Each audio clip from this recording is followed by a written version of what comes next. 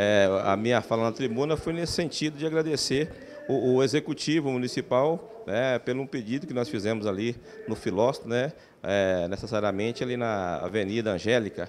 Né, o ano passado ainda, tinha conversado com o secretário Francisco Lacerda, né, que era secretário na época, secretário de obra, para que fizesse ali o recapeamento da Avenida Angélica.